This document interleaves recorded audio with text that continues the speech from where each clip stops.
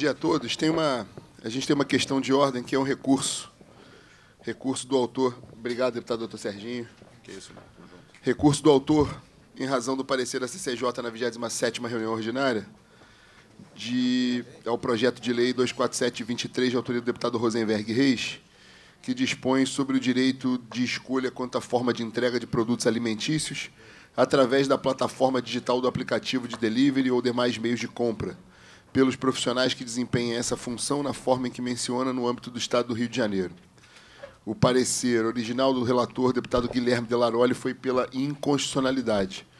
Em razão disso, o autor, deputado Rosenberg Reis, impetrou o recurso para revisão do parecer. Passar a palavra para o relator original, deputado Guilherme Delaroli. Bom dia a todos, senhor presidente. Eu vou permanecer com o meu, meu parecer pela inconstitucionalidade. Perfeito. Vou botar em discussão, em discussão a matéria. Alguém, algum deputado queira discutir? Não havendo quem queira discutir, é encerrada a discussão. Em votação, a manutenção, o indeferimento, no caso, já que o relator se manifestou pela, dessa forma, o indeferimento do recurso do autor. Aqueles em votação, aqueles que indeferem o recurso permaneçam como estão. Aprovado, o recurso foi indeferido, permanece o parecer original pela inconstitucionalidade, o projeto vai a arquivo. Presidente. Pois não, deputado. Quem chamou? Deputado Luiz Paulo? Deputado Luiz Paulo. Presidente, eu, entre nós, deputado Delaroli, fiquei inicialmente com dúvidas. Porque seguramente o autor está querendo se basear no Estatuto do Consumidor. Mas, no caso específico, ele não está tratando do consumidor, ele está tratando do entregador. E realmente tem uma interferência nas relações é, privadas. Né? Então, nesse sentido, eu estou só fazendo uma declaração de voto, é que eu acompanhei o voto de Vossa Excelência. Perfeito. E fica até um, uma orientação, a gente tem discutido aqui, deputado Cosolino tem feito essa muito essa abordagem, deputado Luiz Paulo também, sobre a, competência nossa, sobretudo as competências concorrentes. E é importante que, na, na, técnica legislativa, que os deputados passem a, naquilo que for usar o direito do consumidor, que é a competência nossa, que o façam de forma mais objetiva. De preferência, deixando claro que é, a matéria está tratando da relação de consumo, até para facilitar um parecer favorável, uma constitucionalidade, eventualmente um questionamento judicial, para que a gente possa ter uma saída mais efetiva. Mas, de fato, no caso em tela, salvo o melhor juízo, de fato assiste razão uma declaração de voto aqui, o Guilherme Delaroli, deputado Guilherme Delaroli, porque adentra a relação de trabalho, adentra as relações privadas e foge, de fato, da nossa competência. Passo, então, ao item 1 da pauta. 4827, PL 4827, de 21, de autoria do deputado Luiz Paulo que determina que para o atendimento, cadastramento, distribuições do cartões de auxílio emergencial no Estado do Rio de Janeiro, no Estado, programa Supera Rio, criado pela Lei 9.191, de 2 de março de 21, aos beneficiários do mesmo, será utilizada exclusivamente a estrutura existente da rede estadual e municipais de educação no Estado do Rio de Janeiro.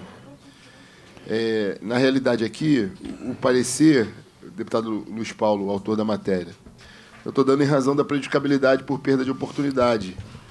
É, tendo em vista a revogação da Lei 9.191, que é a superação do, do, do, programa que a lei menciona. Presidente. Em discussão, deputado Luiz Paulo. O, o, o seu parecer da perda de oportunidade, ele está correto. Né? Até porque o governador, de fato, em 2023, né, dois anos depois da apresentação do projeto, ele revogou o Supera Rio. Mas na época que foi apresentado, queria deixar claro, deputado Carlos Mink, a entrega dos cartões estavam se dando em sede de escolas de samba. Olha, com intuitos eminentemente eleitoreiros, né?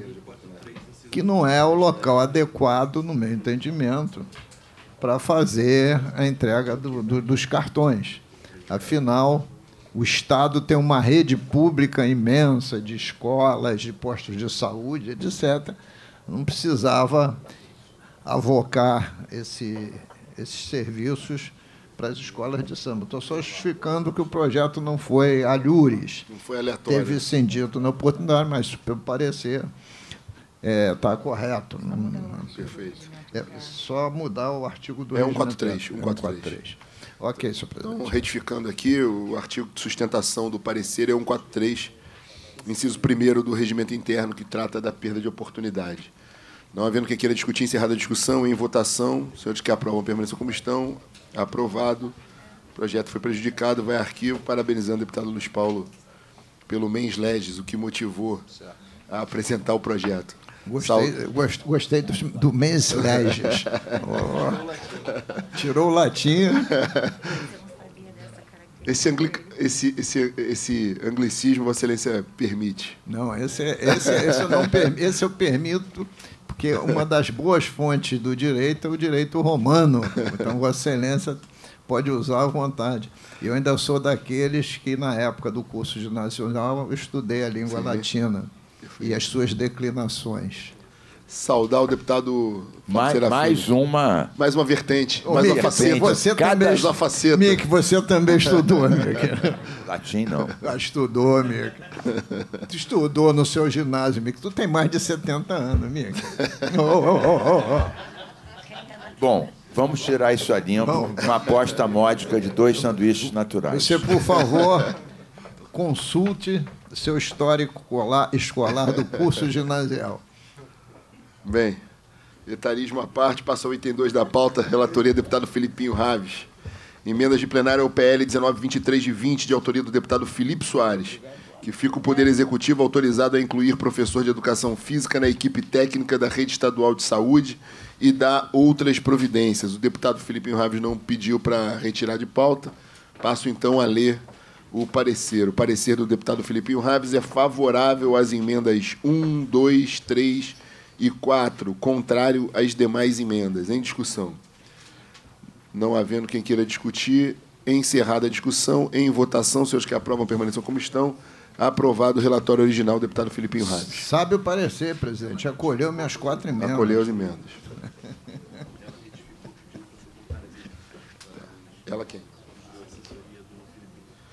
Eu vou passar o item 3 da pauta, são as emendas de plenário ao projeto de lei 313 de 23, de autoria da deputada Gisele Monteiro, que institui obrigatoriedade de divulgação dos conselhos estaduais na página virtual da Secretaria Estadual de Saúde do Rio de Janeiro.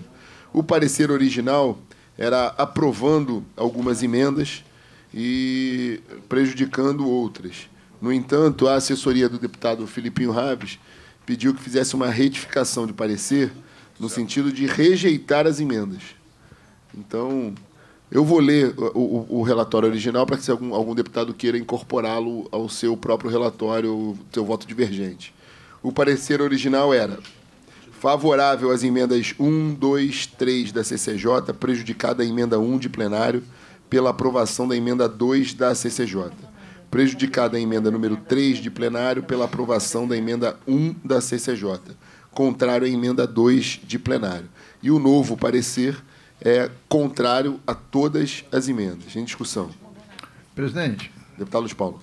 Não, eu não vejo problema nenhum. Eu queria eu estou pedindo para discutir, para levantar uma outra questão que esse projeto traz à tona e acontece constantemente.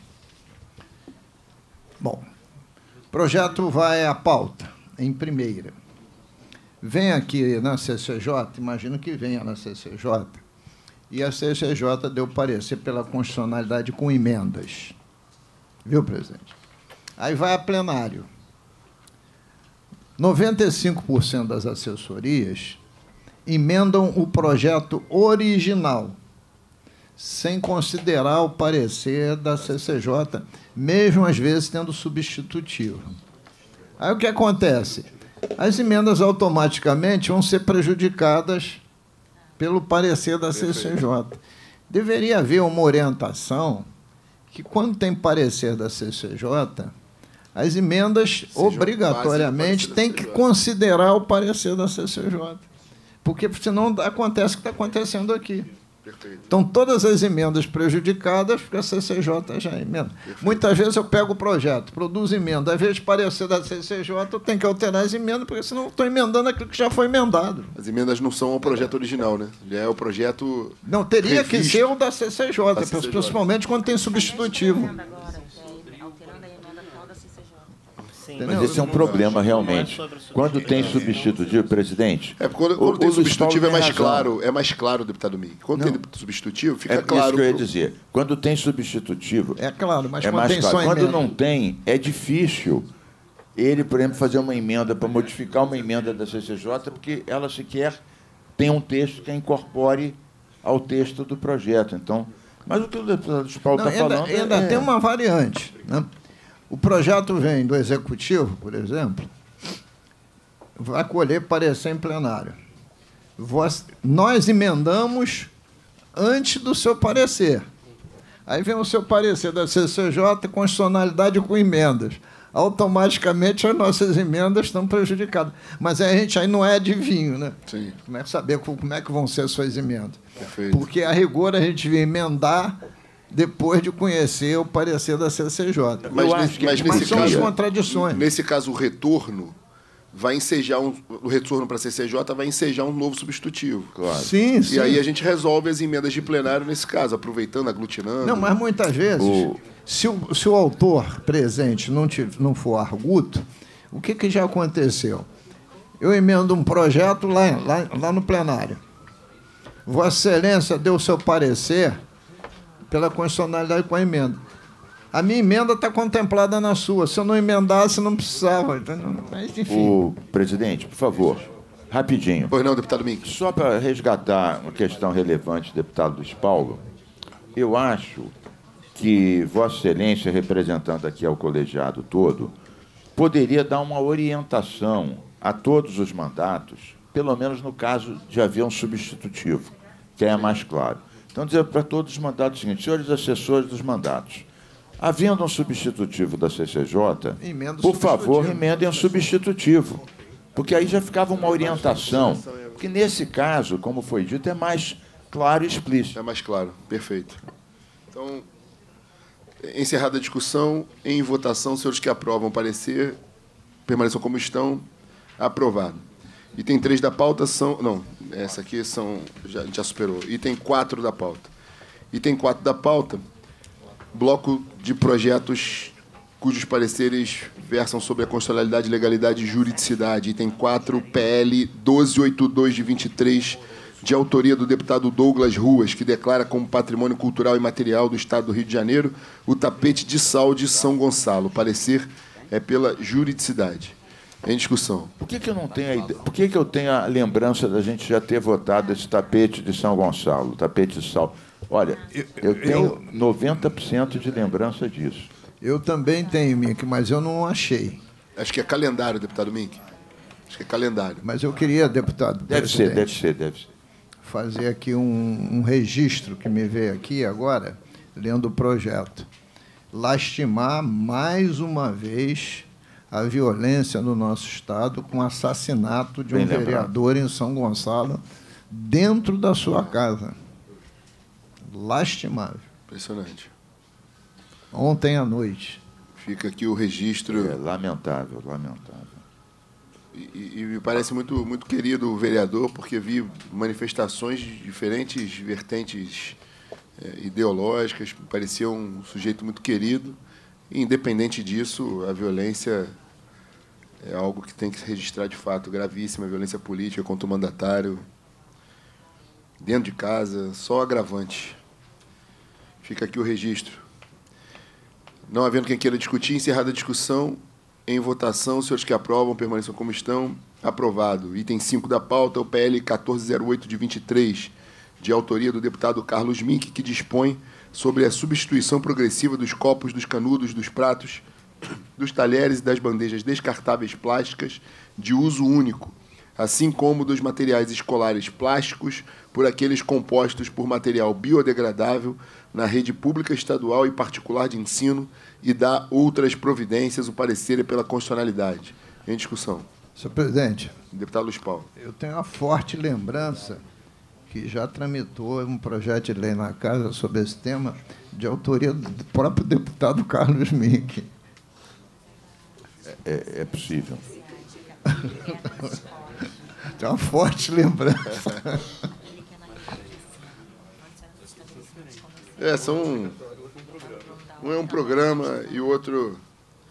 E outro, é, embora do mesmo autor, eles são complementares. Um é um programa e o outro é algo obrigatório. Tá boa defesa, deputado Mink? Excepcional. É um deputado criativo. O mesmo projeto se desdobra. Para discutir aqui, senhor. Para discutir, Não deputado, é biodegradável os projetos do Deputado Mink. doutor Serginho. presidente, em seguida também para discutir. Deputado doutor Serginho e deputado Vinícius Cosolino. Eu já acabei, eu só fiz uma... Observando o, o projeto do deputado Carlos Mink, é aqui a imposição, inclusive a, a segmento escolar de natureza particular, da substituição é, desse material de plástico, enfim, que, que há um apelo muito grande no aspecto ambiental, mas uma interferência direta na iniciativa privada e no seu direito de escolha. Então, nesse aspecto aqui, no que se refere à obrigatoriedade, contando inclusive aqui os prazos para, para a substituição, tudo. eu vejo que isso certamente pode fadar. Presidente, queria um pouquinho da sua atenção nesse Desculpa, aspecto. desculpa, Mink. Porque isso, isso, inclusive, pode interferir diretamente na economia. Inúmeras empresas, particulares. não só os particulares também, mas isso vai ter uma interferência direta nas indústrias de copo plástico, enfim, que geram empregos. A obrigatoriedade para a iniciativa privada ter que substituir, não colocar é, o copo plástico, enfim, substituir por outro material biodegradável que muito provavelmente, neste momento, tem um valor econômico, inclusive, maior.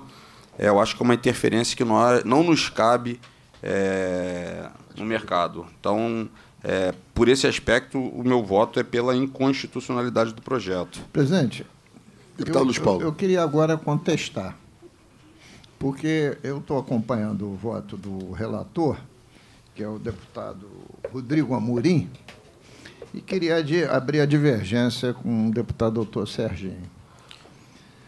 Uma das questões mais relevantes do planeta atualmente é a questão ambiental. E não pode ter separação da questão ambiental entre o público e o privado.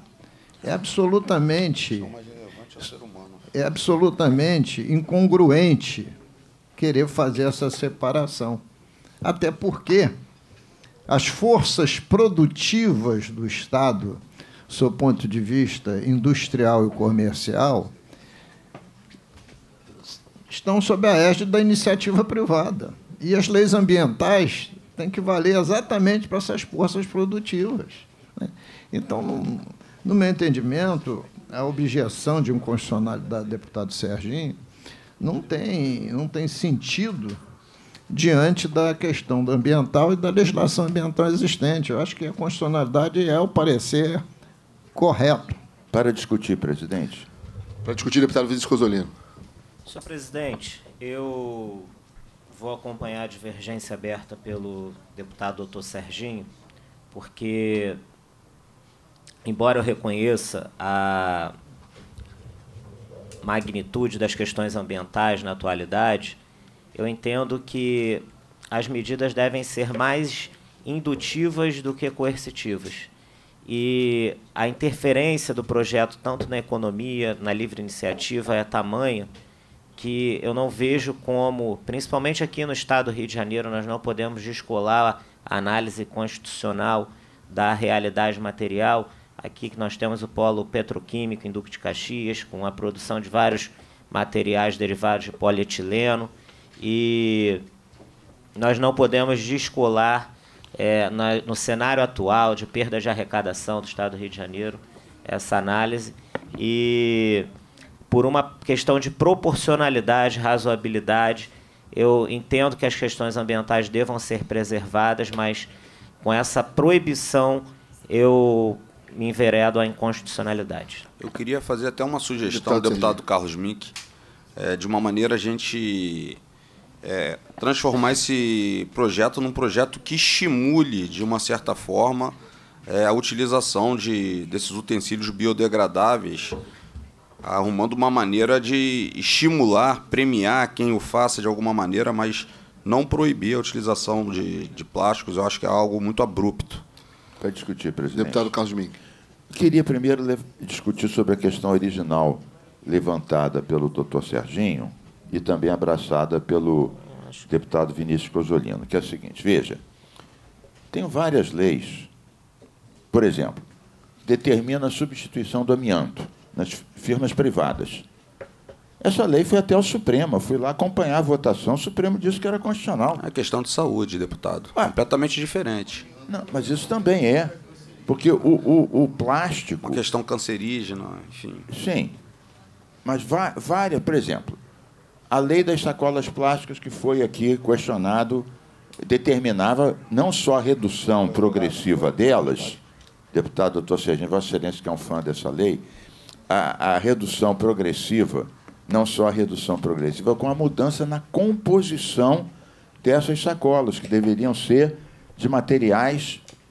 Inclusive, vou fazer uma emenda depois para aperfeiçoar esse projeto. Materiais renováveis, ou seja, compostos por fibras vegetais, etc., e reutilizáveis.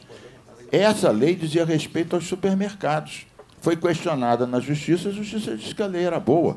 Os próprios supermercados concordaram e realmente substituíram as sacolas, eram 100% de plástico e passaram a ser feitas majoritariamente de material renovável, que é diferente do biodegradável. Eu vou até depois modificar algumas coisas aqui desse projeto. Mas então, veja, é, quanto à questão da constitucionalidade,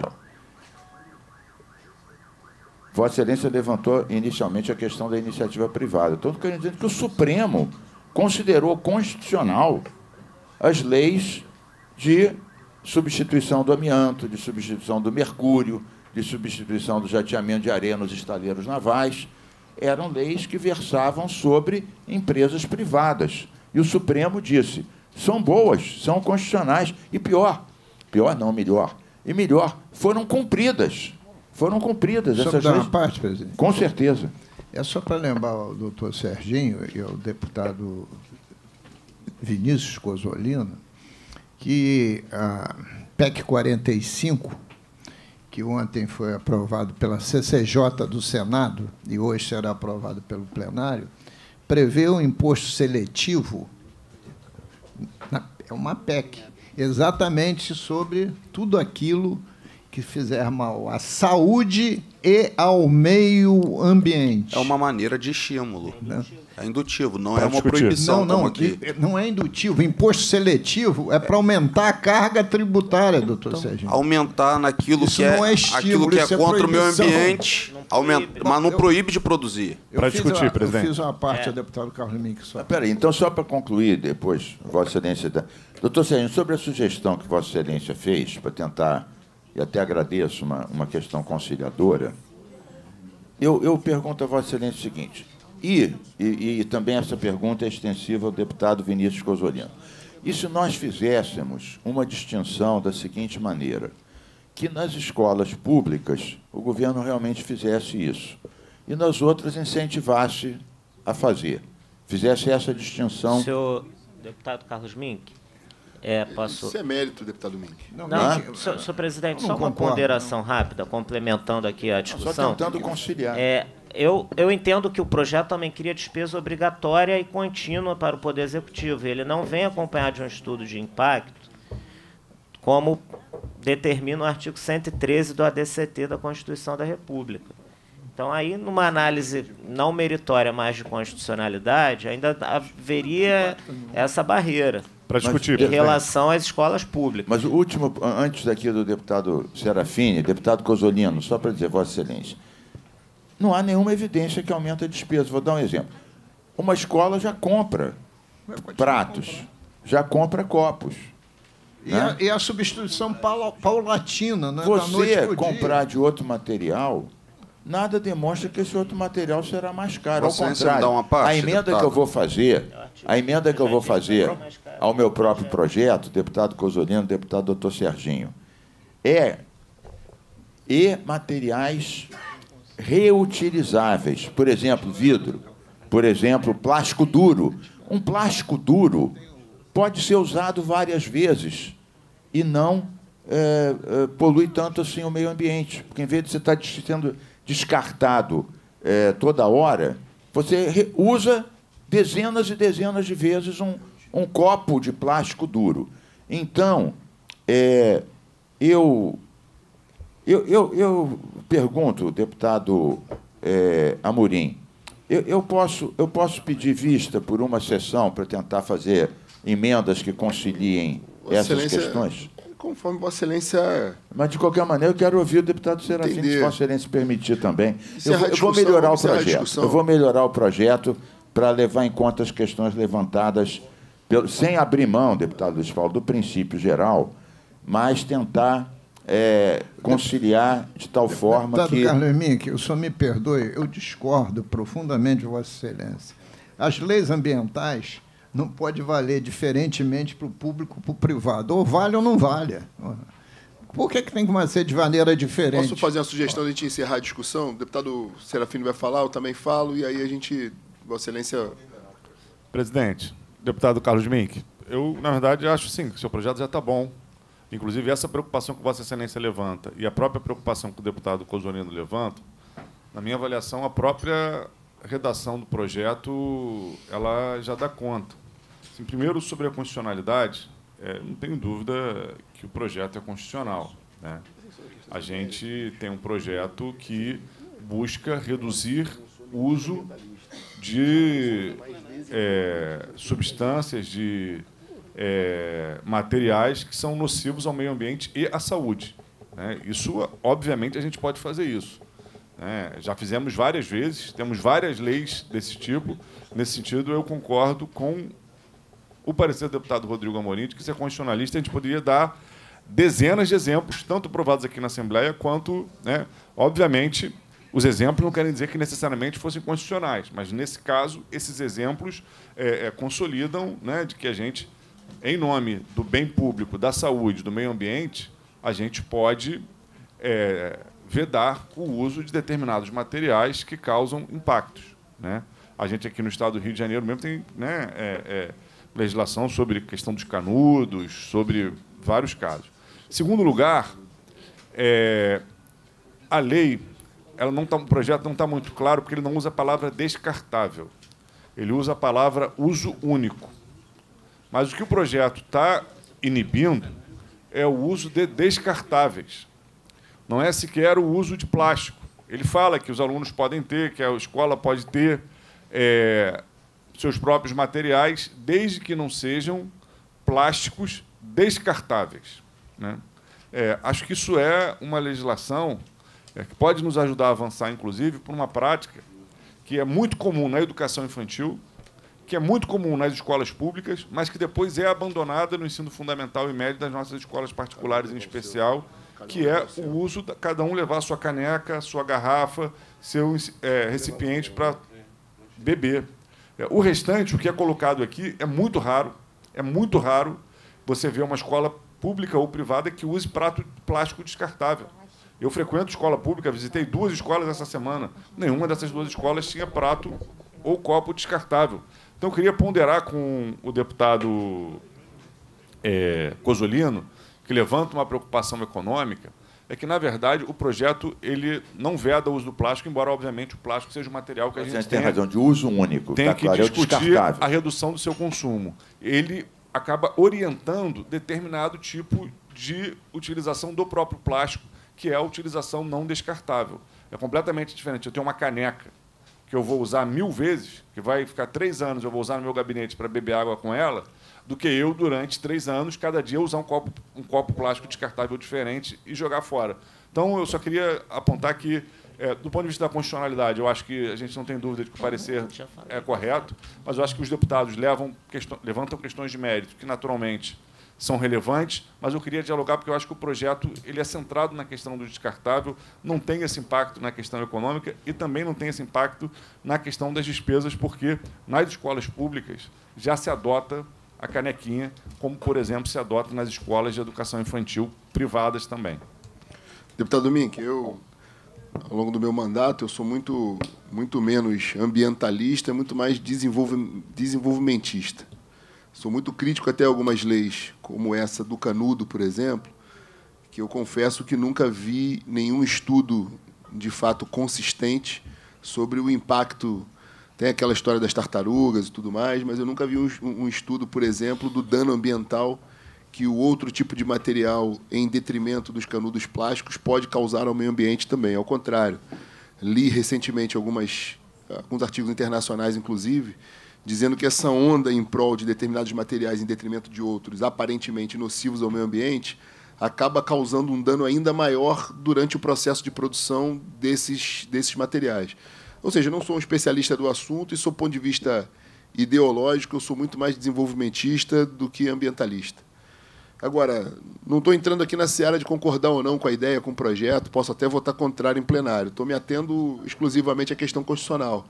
A gente, é, pode, a gente pode legislar sobre o meio ambiente. Por outro lado, me alegra muito essa discussão. Primeiro que vem de dois deputados da CCJ, vice-presidente doutor Serginho e deputado Cosolino, muito técnicos, e que trazem à baila aqui um assunto que eu também me filio ao entendimento deles, que é nós avaliarmos qual bem jurídico tutelado está em jogo. Se é a defesa da propriedade privada, se é a defesa do meio ambiente, botar na balança qual é o mais importante dentro da conjuntura nacional e internacional, é uma discussão saudável para a CCJ e tem embasamento para isso, inclusive para não permitir que o projeto avance, porque quando você dá um projeto pela inconstitucionalidade, você pode fazê-lo com base em algum arrepio à Constituição Federal ou Estadual, dá pela ilegalidade por conta de algum arrepio a alguma lei vigente, sobretudo as leis federais, mas a gente tem ainda da injuridicidade quando o projeto afronta princípios gerais de direito, afronta a razoabilidade, a proporcionalidade. A gente decidiu agora recentemente um projeto que ele era aparentemente constitucional, mas a gente chegou ao consenso aqui que, sob o ponto de vista da proporcionalidade, ele não era adequado, que é algo abstrato, mas jurídico. Então, a, discussão, assiste razão do deputado doutor Serginho, assiste razão do deputado Cosolino, deputado mas eu mantenho o, meu voto original pela constitucionalidade, primeiro porque considero que Vossa Excelência é capaz, como todo deputado estadual, para legislar na questão ambiental, ainda que interfira de alguma forma é, na, na, questão, aí a gente, é uma balança dos bens jurídicos tutelados. É, a, a tese levantada pelo deputado Cosolino sobre a despesa continuada, eu me permito é, é é, confrontá-la, porque, na realidade, não é uma despesa para sempre continuada, por mais que o tipo de material que está sendo proposto seja mais caro do que o material hoje utilizado. Mas, no, nos próximos, posteriores a dois anos, que é o que diz a DCT, já haverá mais duas loas pela frente, onde poderá ser revisto a dotação para aquele tipo de compra. será uma economia. É bom que se diga Tem um isso. aspecto dos reutilizáveis que se trata, passa a se tratar uma economia e não tem de fato uma balança nesse sentido, mas afasta a ideia, numa, numa primeira análise, de criar-se despesa continuidade, é, continuada e Vossa Excelência é cauteloso de estabelecer no artigo 4 a fonte de custeio. Eu sou muito. Tá, conversava até com o deputado doutor Serginho, me causa certo uma certa repulsa a essa questão de impedir a rede particular de repassar eventuais despesas para mensalidade. Esse artigo adentra de fato, afronta de fato a iniciativa privada. Pode Creio que a gente não tem a competência para dizer se o particular, porque aí é uma decisão dos pais. Se eu considerar que a mensalidade da, daquela escola está jogando para mim, consumidor, uma carga muito excessiva, eu tiro de escola, boto em outra mas considero que isso possa ser revisto por meio de emenda futura. Então, para o projeto andar e saudando aqui a, a, a, discussão, que tenhamos mais discussões desse nível, é, parabenizar o deputado doutor Serginho deputado Vinícius Cosolino pela sustentação, mas sempre tem a tendência aqui a mudar o voto e acompanhar, por prudência, o deputado doutor Serginho, Presidente, então Mas eu dessa vou vez eu mudar. mantenho o voto pela constitucionalidade então, e faço o seguinte: ah. não peça vista, vamos encarar não, o voto, isso, vai para o plenário isso. e a gente vai voltar Exatamente. essa discussão eu, aqui. Eu já, de qualquer maneira, se passar a constitucionalidade, aquilo que eu me comprometi com o doutor Serginho e com o deputado Vinícius Cosolino, eu mantenho na Comissão de Meio Ambiente fazer as emendas para Pode levar ser, em conta ser, algumas pode dessas ser. questões, inclusive colocando o reutilizável também, e o renovável, que é com fibras, não obrigatoriamente o biodegradável. E- e tem um aspecto- Então, essas coisas que eu me comprometi, caso passe a constitucionalidade, eu me comprometo na Comissão de Meio Ambiente, discutindo com vossos mandatos, a melhorar. E, deputado Mink, eu não vou me estender mais, não, mas a gente tem feito aqui um esforço de valorizar a competência e a legitimidade do parlamentar estadual. É objeto, inclusive, da convenção da Unalha agora, essa semana, é prerrogativas do parlamento estadual, competências do parlamento estadual. É muito é, é saudável que a gente faça um exercício em cima de uma lei que impõe algo além do poder público estadual. E eu tenho sustentado essa tese que a gente pode fazê-lo, inclusive, perante as prefeituras, administrações municipais, dando uma linha, uma diretriz, um norte. Então, é saudável também, claro, respeitando os limites da invasão da propriedade privada, da iniciativa privada, mas é importante a gente poder legislar também sobre outros ambientes que não sejam só a administração pública estadual. Então, por conta disso, vou manter o voto pela constitucionalidade. E eu não peço vídeo. Então. Não, a gente vai, a gente vai. Então, é, encerrada a discussão, o deputado Delaroli vai discutir, não? Encerrada a discussão, parabenizando pela qualidade da discussão. Em votação, senhores que aprovam. Ah, não, agora tem, tem dois votos. Já, já foi. O deputado doutor Serginho apresentou o voto em divergência. Deputado Cosolino acompanha a Acompanho a divergência. divergência. Deputado Delaroli. Acompanho o relator. Deputado Mink. Também o relator.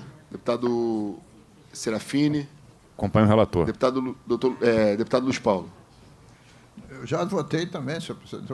Constitucionalidade, não tem a menor dúvida Então, sobre eu, isso. eu mantenho 5 a 2 venceu a constitucionalidade, registrando os dois o voto divergente do deputado doutor Serginho, acompanhado pelo voto do deputado Cosolino. Item 6 da pauta. PL 1979, de 23, de autoria do deputado Chico Machado, que altera a Lei 6.036, de 9 de setembro de 2011, que consolida as leis que dispõem sobre nomes dados às vias próprios e logra- logradouros públicos no Estado do Rio de Janeiro, incluindo no seu artigo 1 o inciso L, denominando como doutor José de Castro trecho da rodovia RJ 182, que compreende o município de Conceição de Macabu. Parecer é pela legalidade com emendas. Em discussão. Não havendo quem queira discutir, encerrada a discussão, em votação, senhores que aprovam permaneçam como estão, aprovado. Bloco de projetos, relatoria, deputado Fred Pacheco, está aqui a assessoria do deputado Fred Pacheco, falei com ele ainda há pouco. Está em São Paulo, numa missão oficial lá em Sorocaba, pediu para justificar a ausência dele na reunião de hoje. É o PL 3455 de 2020, de autoria do deputado Daniel Librelon, que estabelece mecanismos de diagnóstico, prevenção e acompanhamento de casos de depressão de forma contínua dentro das instituições públicas de ensino no âmbito do Estado do Rio de Janeiro. O parecer do deputado Fred Pacheco é pela constitucionalidade com emendas. Em discussão. Para discutir, senhor. Para discutir, deputado Luiz Paulo. Também vou aqui abrir a divergência em relação ao relator, deputado Fred Pacheco. Não faz sentido a primeira emenda. Autoriza a criação da política de diagnóstico. A política de diagnóstico já é autorizativa. Você falar política e falar programa é quase estar falando palavras sinônimas. Né? E, além do mais, você vai criar política de diagnóstico. O autor estabeleceu mecanismos. Estabeleceu mecanismos. Porque quem faz diagnóstico de depressão é médico psiquiatra. Né? Ou, ou os terapeutas, né? sem especificar se é psicanalista ou não. E não é as doenças de caráter psíquico-emocional não são muito fáceis de você ser afirmativo. Fulano tem essa ou aquela doença. Então, o que deseja o deputado Daniel Liberon é que o, a Secretaria de Saúde possa né, se dedicar a diagnosticar todas essas doenças. E eu até particularmente, no plenário, não aqui, eu não colocaria só depressão. Quer dizer, você tem uma política para diagnosticar depressão. Se for ansiedade, você não faz o diagnóstico. Né? Por exemplo, você tem que fazer o diagnóstico de qualquer que seja a doença psicossocioemocional. Né? Então, senhor presidente, eu não, eu não vejo sentido a emenda modificativa número um. Eu não vou entrar nas discordâncias das outras emendas, né? mas eu votaria pela constitucionalidade, mas não acataria a emenda modificativa número um. Seu voto, então, divergente é pela constitucionalidade simples, sem emendas. Não, tá pode acatar até as a 2 e 3. Não, não acata a primeira. Ele acata 2 e 3. É um bom momento de discutir essa questão de programa e política que não é algo. Alguns legisladores botam política, outros botam programa. Sim, querido, mas você botar autorizar a fazer programa, autorizar a fazer política, é quase como fosse um pleonasmo, né? Porque, pô, política, programa, governador necessariamente vai adotar ou não. Né? Autorizar a criar política, pô. Senhor presidente, já que o. Deputado Cosolino.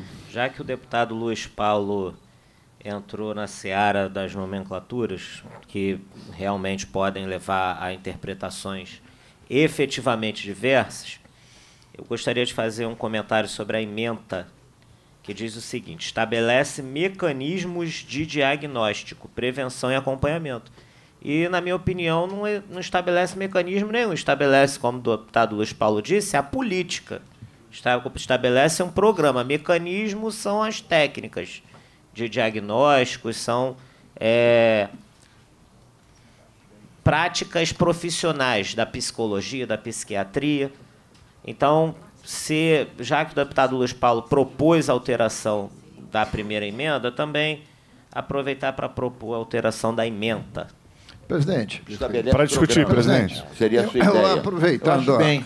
eu aproveitando a inserção do deputado Vinícius Cosolino, como ainda não está em votação, eu tenho o direito de pedir vista, porque eu também concordo com ele, eu vou consertar a emenda também.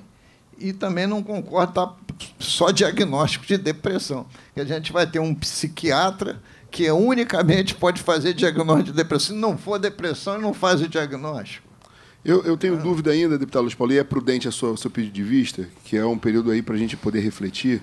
Eu tenho alguma dúvida ainda sobre ser um pleonasmo ou não, a partir do pressuposto que uma política ou um programa seja de caráter facultativo. Para discutir. Me parece que o legislador, quando apresenta lei tal, estabelece a política X, ele está impondo que o governo adote aquela política.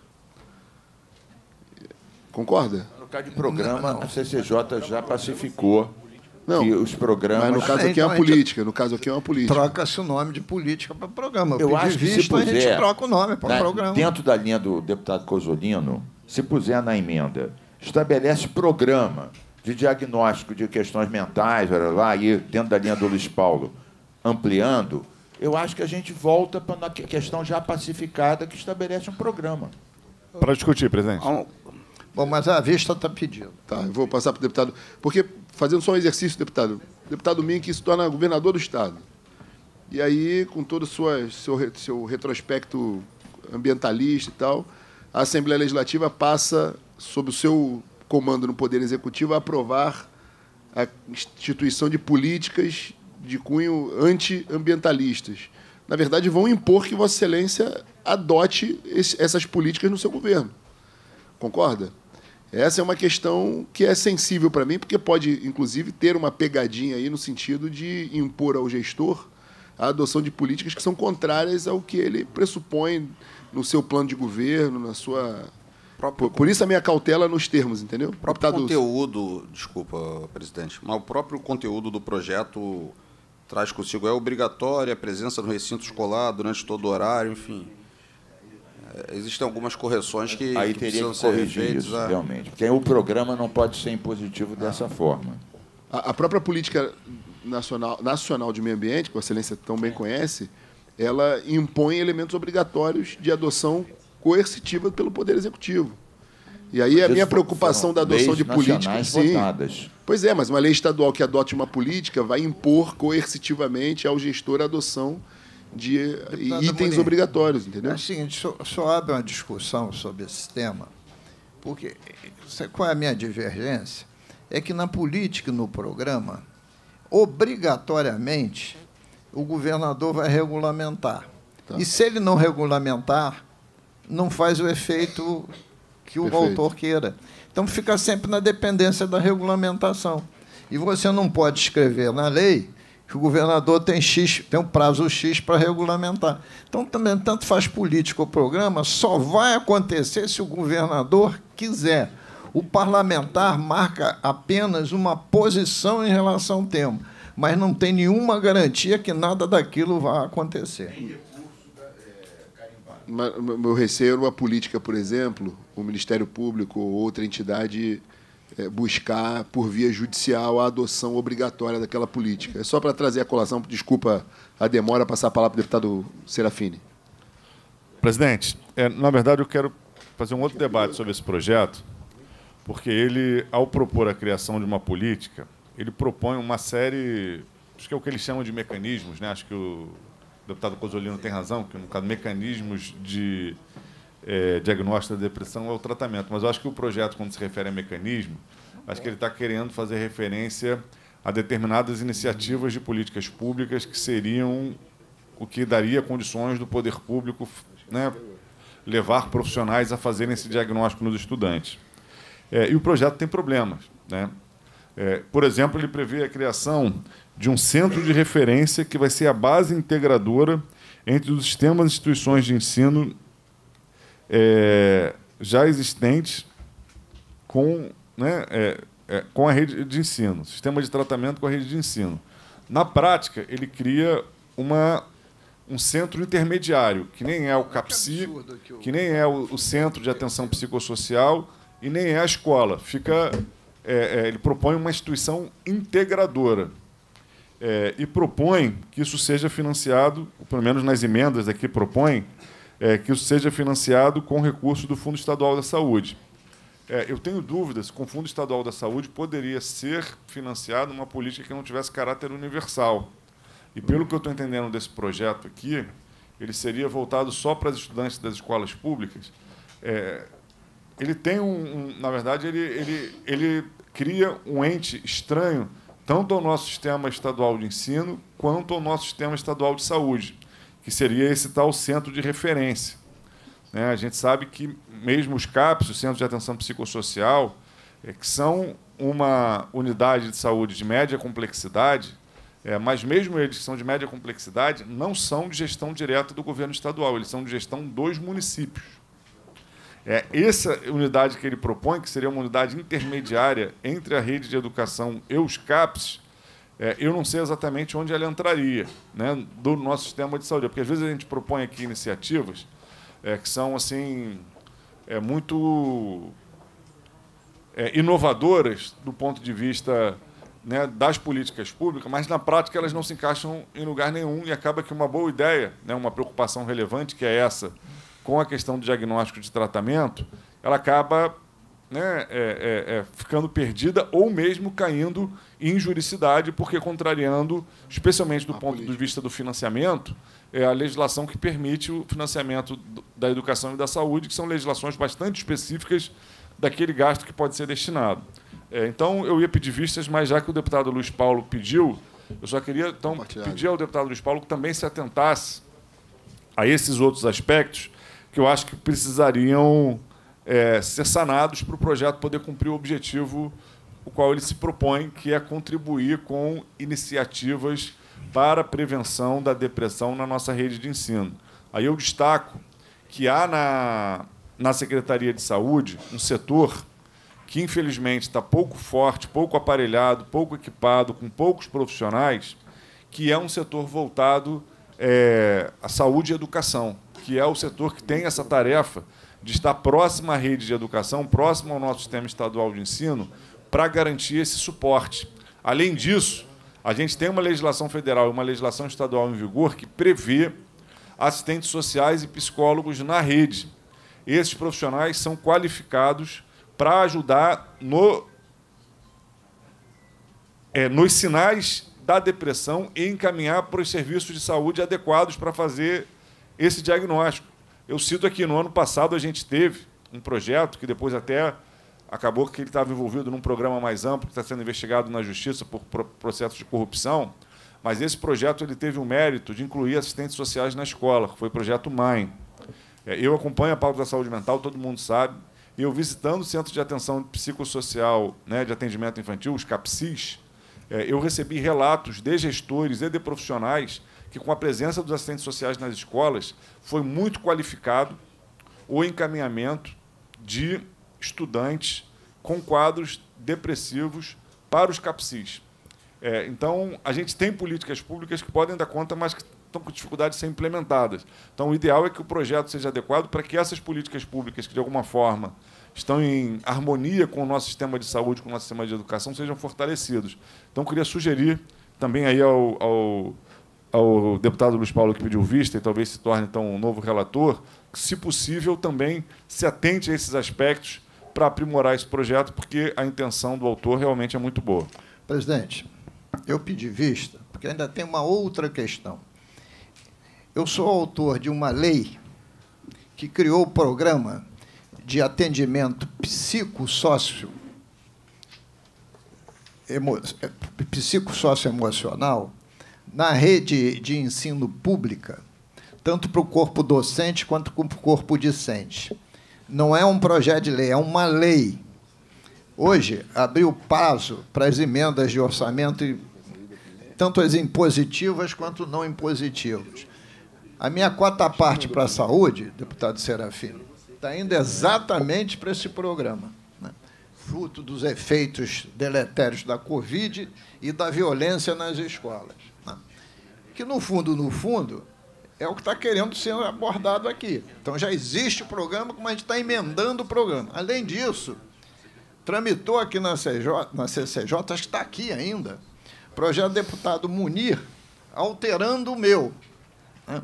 Porque no meu eu abri até para os municípios e estados poder terceirizar parte desse serviço, porque não tem o Estado e município o número de profissionais habilitados suficiente para dar conta dessa demanda, que não é única exclusivamente da depressão, que não é a única doença psíquica é importante. Mas, além do mais, esse projeto lá no seu artigo 3 né?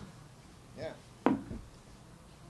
No artigo 3 parágrafo 1 diz que o profissional, que é um médico especialista, que ele não chama de psiquiatra, obrigatoriamente vai fazer o diagnóstico é, fazendo alguns testes e questionários. Desde quando deputado vai dizer como é que médico psiquiatra faz diagnóstico. Eu tenho alguma experiência também nessa área. Eu jamais vi psiquiatra aplicar, e Vossa Excelência tem um irmão que é médico, testes, etc., etc., para avaliar se o cidadão está não deprimido, enfim. Então, o, processo, o projeto precisa de muita modificação. Luiz. E tem... sequer, sequer, no meu entendimento, pode estar prejudicado. Tem mais um ponto também que ele contraria a lei do estágio.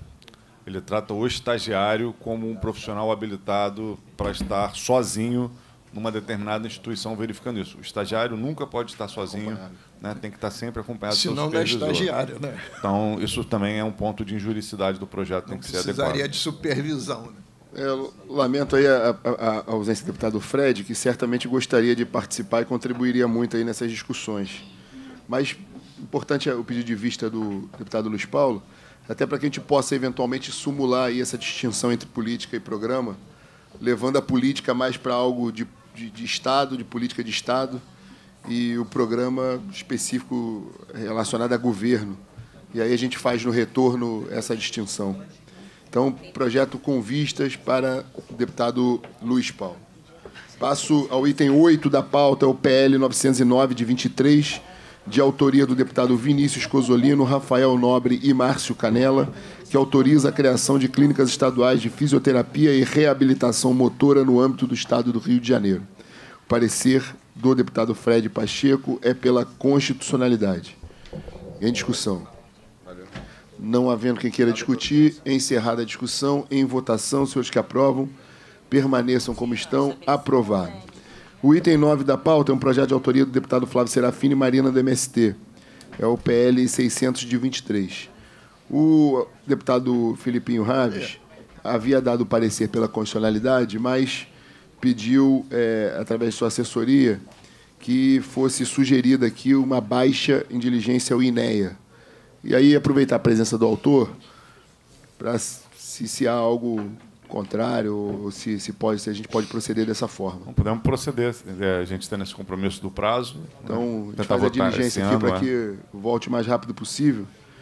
Mas importante aí fala de uma só para os que não estão acompanhando aí, é, o PREL fala sobre a criação da APA Chauá, localizada na região do Conde, município de Miracema, Rio de Janeiro e da, e da Providência. Presidente.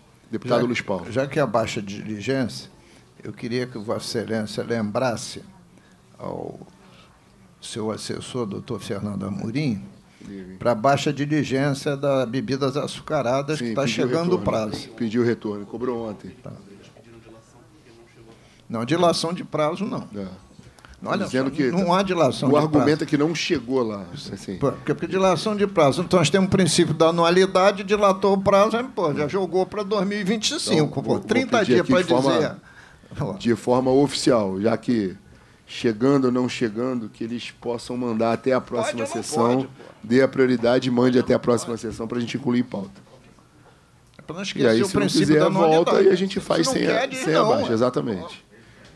Uma semana é o suficiente para conhecer a matéria e dar alguma opinião. Então, então conforme aqui a aprovação de todos, é, a baixa, determinar a baixa diligência para o INEA. Item 10 da pauta. O PL 1806 de 23, de autoria do deputado Otônio de Paula Pai, que declara as serestas de conservatória como patrimônio cultural e material do Estado do Rio de Janeiro para aparecer deputado Vinícius Cosolino. Senhor presidente, parecer pela constitucionalidade. Em discussão. Vício de iniciativa, senhor presidente. Esse projeto só pode prosperar se for de autoria do deputado Amorim, que é o boêmio.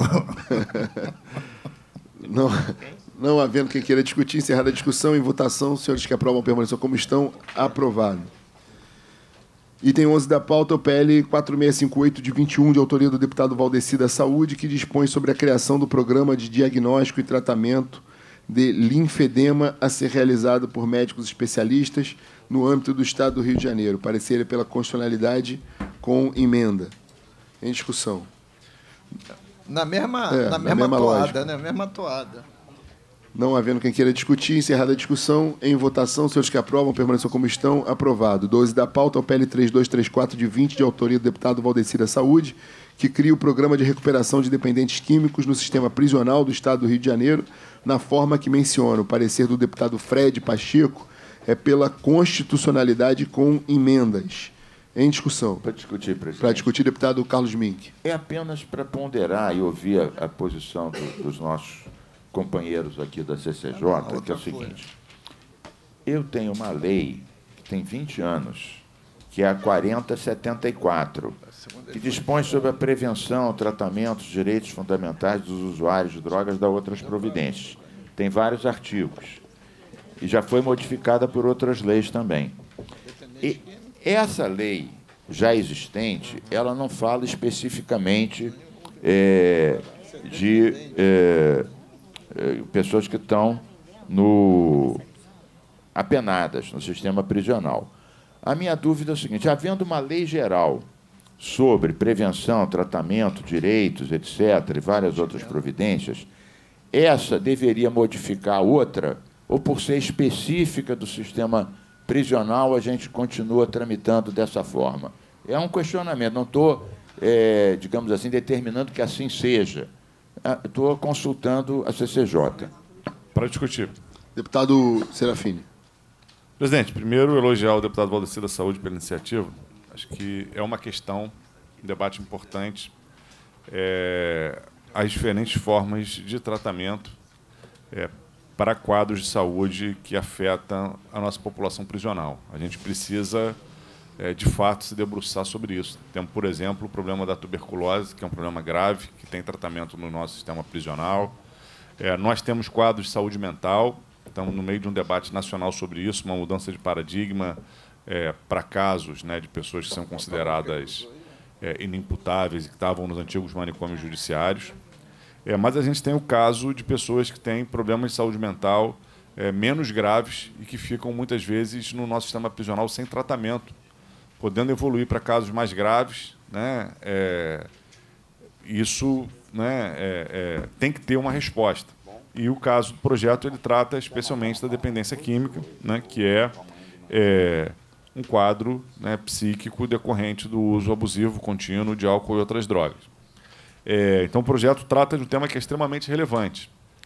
É, a minha única dúvida sobre o projeto, na verdade, é que ele está falando para pessoas é, aparentemente em restrição de liberdade. Aí ele fala da possível parceria com universidades, instituições de saúde, etc., e inclui grupos religiosos. É, tem um debate no campo da saúde mental sobre se esses grupos devem ou não prestar assistência à saúde mental, mas eu não quero entrar nesse debate. É, o que a minha preocupação é o seguinte: existe uma legislação específica para a entrada de grupos religiosos no sistema prisional, é, que não se dá vinculada ao processo de tratamento em saúde. Nesse caso aqui, ele mistura né, as duas possibilidades, me parece fazendo com que o projeto possa estar se tornando um projeto injurídico. Então, eu proporia, né, se a gente conseguisse chegar a um acordo, um, é, um parecer que fosse é, pela constitucionalidade com emenda, a não ser que o deputado não entendisse se o deputado Mink vai pedir vista, é, com emenda, é, para só assim, estabelecer parceria a título gratuito, tiraria também a universidade, né, que seria com instituições de saúde. Porque a universidade, para adentrar no sistema prisional, para fazer um tratamento desse tipo, tem que ser em cima de uma política de saúde, tem que ser uma instituição de saúde. É, tiraria universidades, tiraria grupos religiosos e afim. Né? Instituições de saúde, genericamente, pode ser uma instituição de saúde religiosa, pode ser uma instituição de saúde universitária, é, mas não pode ser uma universidade qualquer, não pode ser uma instituição religiosa qualquer, tem que ser uma instituição de saúde. Emenda boa. Presidente. Deputado Luiz Paulo. Só para dar uma sugestão também ao deputado Carlos Mink, de consertar o parágrafo primeiro do artigo 1 Porque olha o que está escrito, que preciosidade. O preso deve, deverá declarar envolvimento com drogas, ilícitas ou lícitas. Não é envolvimento, é dependência. Porque se declarar que é envolvimento, ele já está condenado por outro crime, vai ser condenado por um segundo, pô. Não é envolvimento, é Perfeito. é dependência, né? Tá? Só para consertar. Bem, deputado Serafini apresentou voto divergente, não? Deputado Fred. Vista. Ah, pediu vista. O Mink pediu. Mink deputado Mink pediu vista. Não pediu vista? Não. Eu não pedi vista. Eu fiz uma consulta. Sim, vista dessa nossa lei genérica sobre a lei de. Está aqui. Em vista dessa lei nossa, dispõe sobre a prevenção, tratamento, direitos fundamentais, de 2003. Se essa não deveria modificar aquela, eu fiz uma consulta. Se Vossas Excelências achassem que sim, que deveria modificar, eu me proporia a fazer a emenda dizendo que essa questão do, do prisional modifica a lei existente. Se for para manter como está, eu acho a emenda do do Serafine boa, porque ela fala saúde. Se for um grupo religioso, um grupo universitário ligado à saúde, sim, mas não genericamente universidades ou grupos religiosos. Então, Vossa Excelência pede vista. Ô, que quem vai ter que decidir é você, não somos nós, pô. Eu peço vista. Vista coercitiva. Pede vista. Eu peço vista e, e peço também que o deputado Boa. Flávio, deputado Paulo, ajudem aqui a fazer esse parecer alternativo. Perfeito. Então, um projeto com vista. Só lembrando que o parecer aqui, eu li o parecer do deputado Fred, ele faz alteração também na emenda, que tem um erro, ele come uma letra na emenda. Então é só para levar o parecer do deputado Fred já, já levou em consideração. Então, projeto com vista para o deputado Carlos Mink.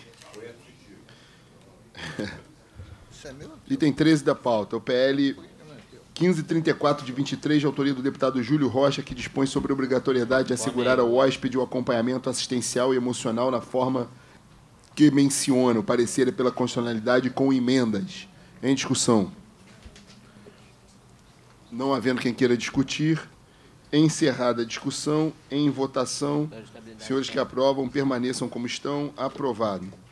Passo.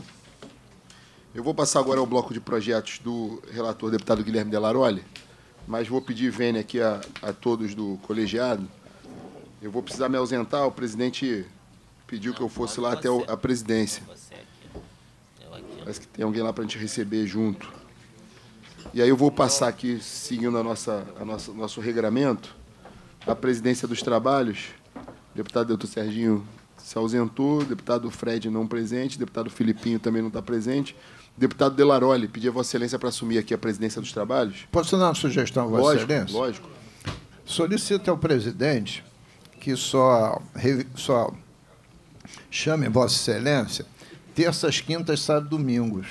Está feito não. em público. Está feito em público. E, e também tem uma.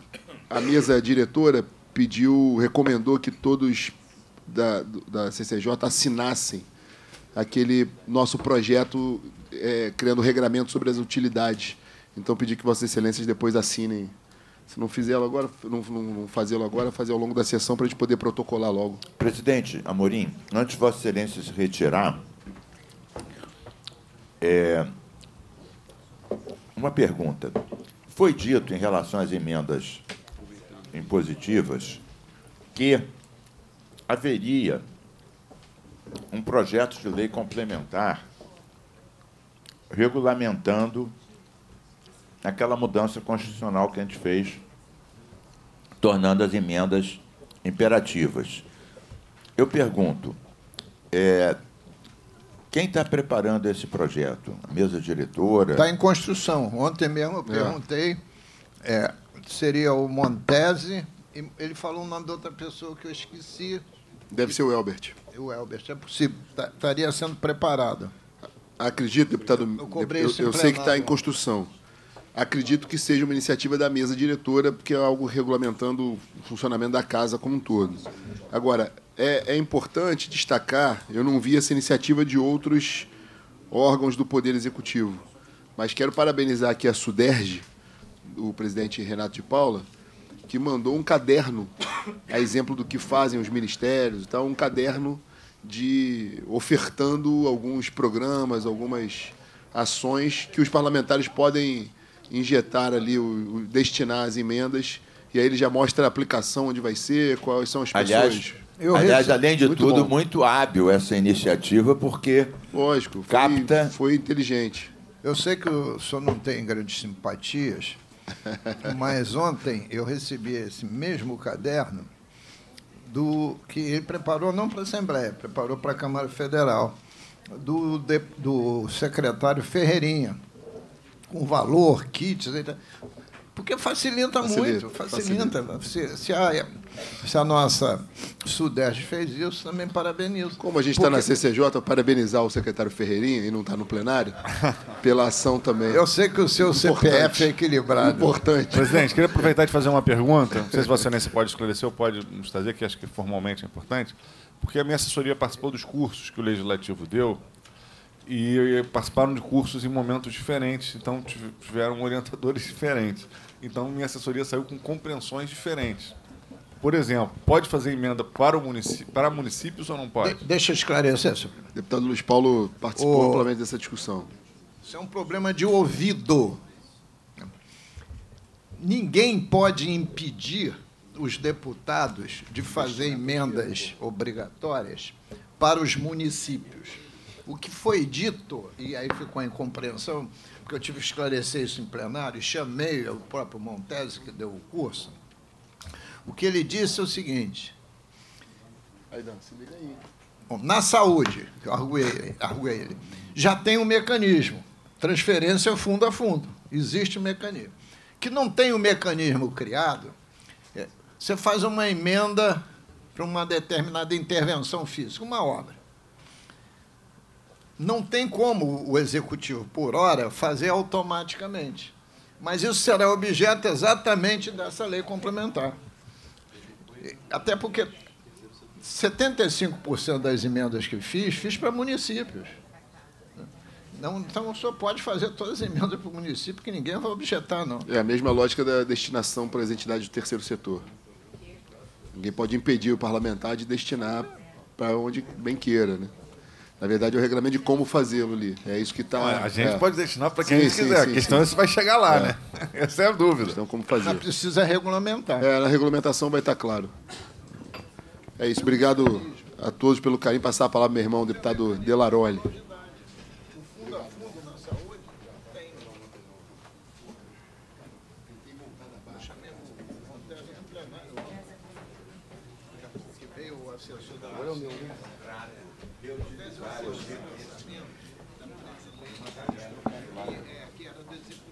Deixo isso aqui Então ele é o chefe da consultoria de orçamentos, da mesa.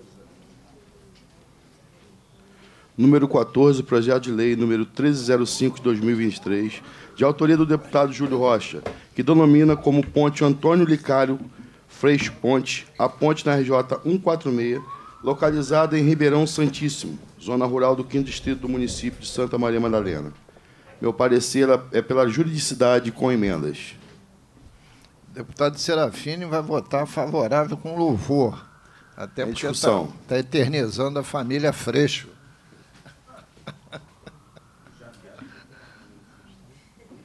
Aqueles que concordam permaneçam como estão. Aprovado. Item 15 da pauta.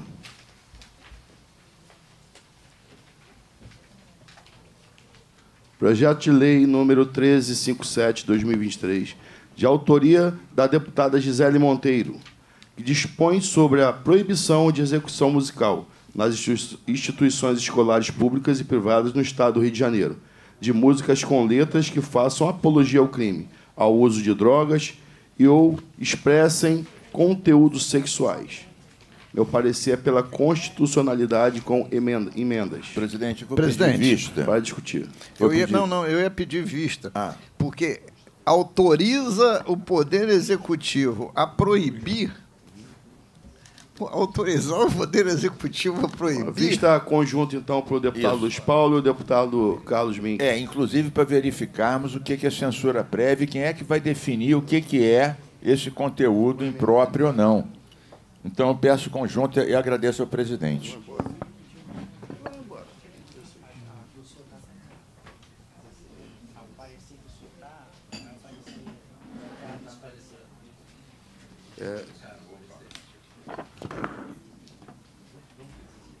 Mas já pediu vista? Já pedi Vamos ver vista. é.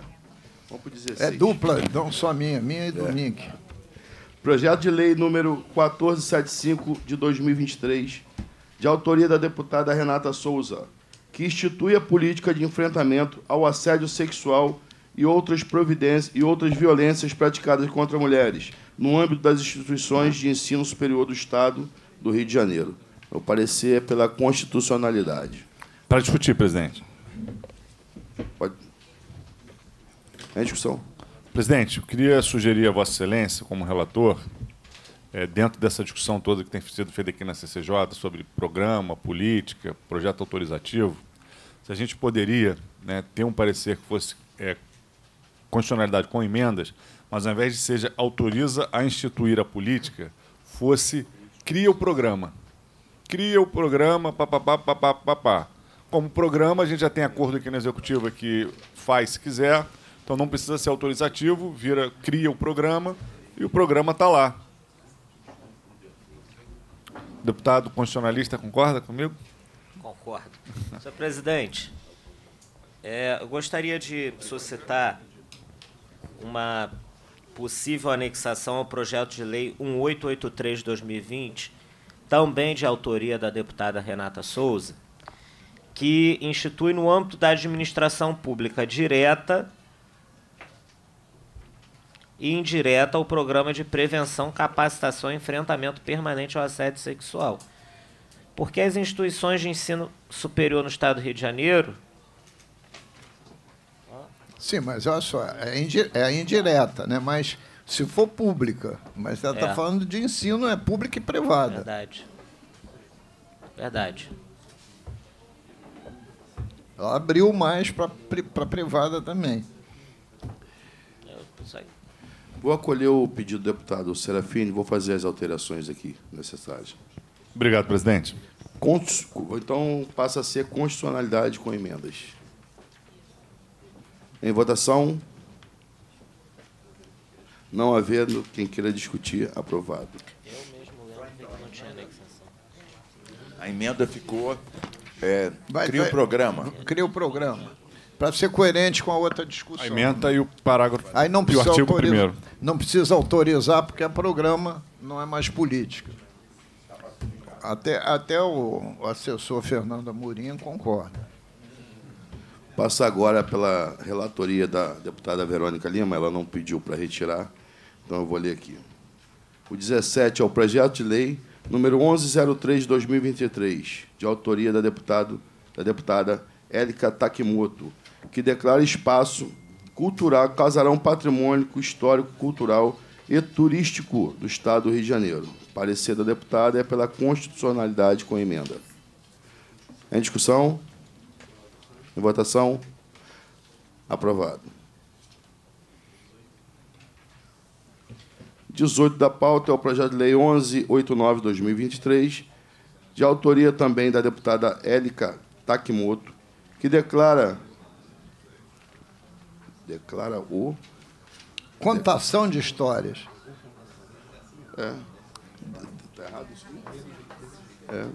declara o contação de histórias em espaço público como patrimônio imaterial, histórico e cultural no Estado do Rio de Janeiro. O parecer é pela Muito constitucionalidade com emendas.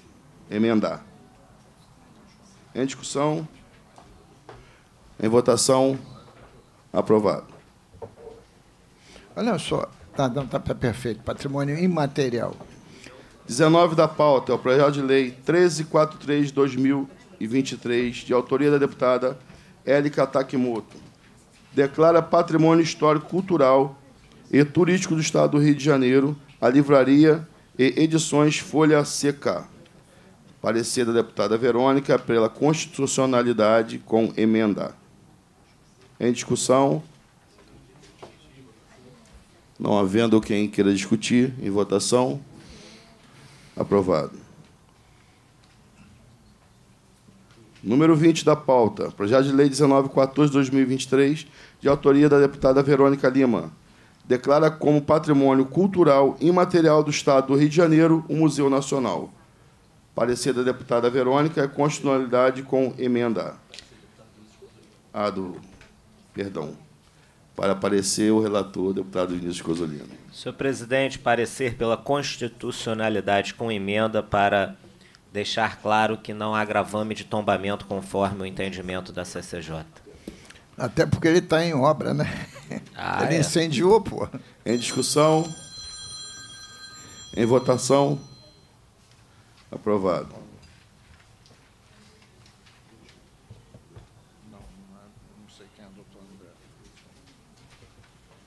Vamos passar para o 21 da pauta também, deputado Vinícius Cosolino.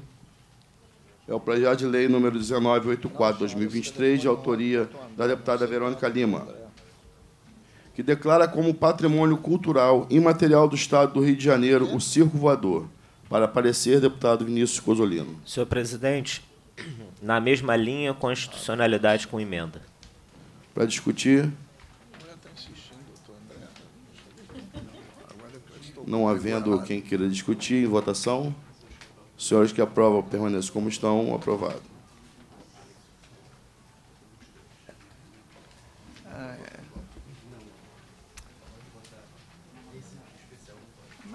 Vamos passar para o item 22 da pauta.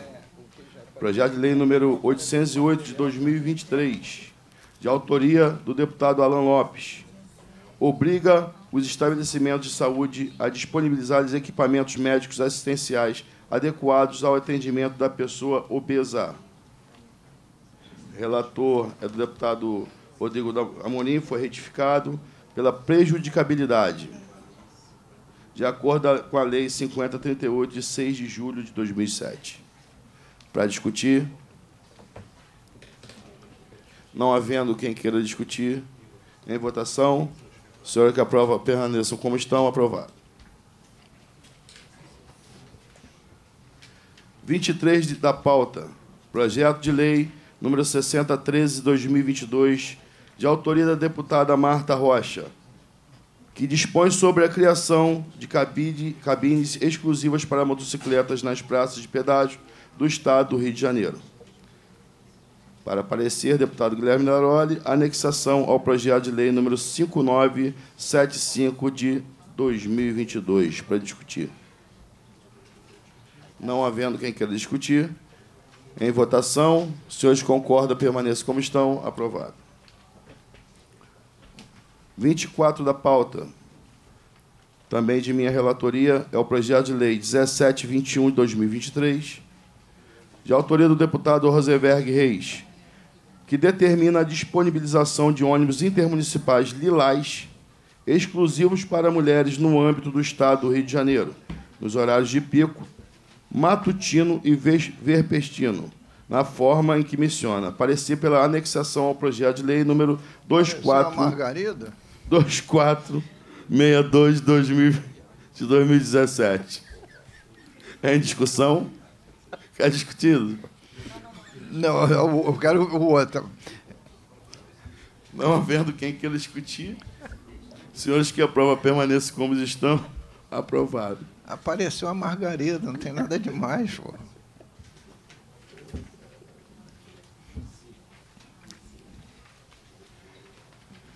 O 25 de relatoria do deputado Rodrigo Amorim é o projeto de lei número 1676 de 2019 de autoria do deputado Gustavo Tutuca, em que fica proibido no Estado do Rio de Janeiro o fornecimento de alimentos com açúcar, glicose, nas instituições públicas e privadas de ensino, de educação e ensino infantil. Parecer pela prejudicabilidade. Para discutir, senhor presidente. Deputado Luiz Paulo, em discussão. Senhor presidente, vou me dirigindo a Vossa Excelência, estou me dirigindo ao assessor do deputado Fernando Amorim. Olha só, o deputado Amorim, por falta de informação, tomou uma carona e se tornou coautor de um projeto de lei do deputado Felipe Neto, que levou para o fígado uma briga de plenário com a deputada Lucinha de um projeto que eu tenho absoluta, acho absolutamente relevante, que era não vender produtos açucarados nas cantinas das escolas. E nos derrotou em plenário. Viu, deputado Fernando Amorim? Aí, não satisfeito pegou a Lei 4.508 de 2005, da governadora Rosinha Garotinho, e resolveu revogá-la, e deu coautoria com o deputado Rodrigo Amorim. Agora o deputado Rodrigo deu coautoria, está por aí ele, ainda não vem em plenário. Aí o deputado Amorim agora pega para relatar o projeto do Gustavo Tutuca, que proíbe corretamente que os alimentos com açúcar sejam fornecidos nas instituições públicas e privadas de educação infantil. Aí ele dá prejudicabilidade pela lei. E, ao mesmo tempo, ele quer revogar a lei. A lei é boa. Eu não sei como esse projeto não está aqui na pauta, né, se torna constitucional. Então, eu acho até que o deputado Tutuca devia estar modificando a 4.508, né? e não apresentando um projeto solto. Mas eu já tinha sugerido ao deputado Bruno que tire fora essa coautoria. Está embarcando numa canoa no meio furada. Mas então eu queria pedir vista para ver se eu consigo conciliar es- essas coisas que talvez sejam inconciliáveis. Muito obrigado, deputado Luiz Paulo. Vista concedido, deputado Luiz Paulo. Ó, presidente, se eu puder dar uma opinião nessa casa, Pois não. Todos os deputados têm que evitar ao máximo virar inimigos da deputada Lucinha, porque ela não é mole, não. Próximo item da pauta é o 26, é o projeto de lei 805 de 2023, de autoria do deputado Alan Lopes, que dispõe sobre o direito da pessoa com transtorno do aspecto autista TEA de ingressar e permanecer em ambiente de uso coletivo acompanhado de cão de apoio emocional. Parecer é pela prejudicabilidade. Em discussão. Quer botar um cara do governo nacional? Não havendo quem queira discutir, senhores, encerrada a discussão, os senhores que aprovam permaneça como estão, aprovado.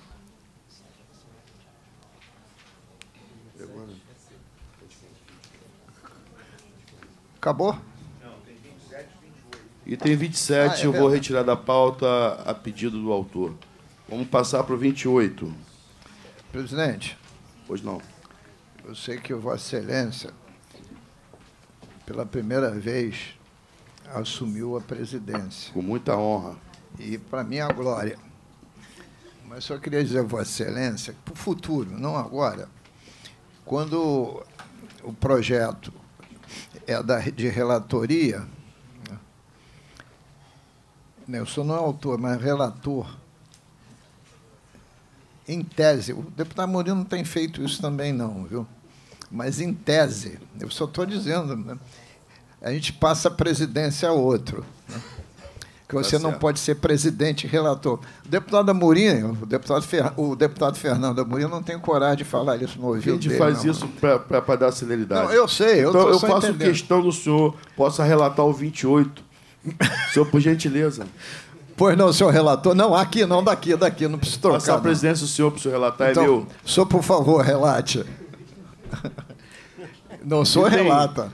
Item 28, projeto de lei número 4100 de 2021, de autoria do deputado Felipe Paubel, que dispõe sobre o programa de atendimento e procedimento nas unidades do Instituto Médico Legal IML do Estado do Rio de Janeiro, para efeito de atendimento das mulheres vítimas de violência física, sexual ou doméstica no Estado do Rio de Janeiro.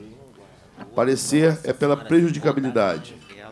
Em discussão, não havendo que queira discutir, encerrar a discussão em votação. Que o senhor acorda permaneça com estão aprovado pela prejudicabilidade. obrigado, deputado Luiz Devolvo a presidência a Vossa Excelência. Ah, muito obrigado.